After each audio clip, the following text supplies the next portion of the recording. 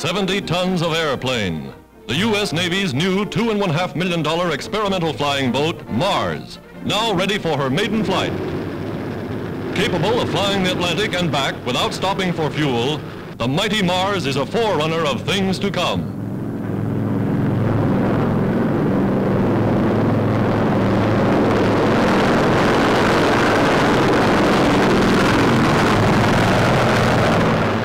The contrast between a Navy patrol bomber and the giant amphibian is striking. Four monster motors, each with more power than a locomotive. Armed to the teeth, planes like the Mars can speed men and weapons to the battlefronts of the world in a matter of hours.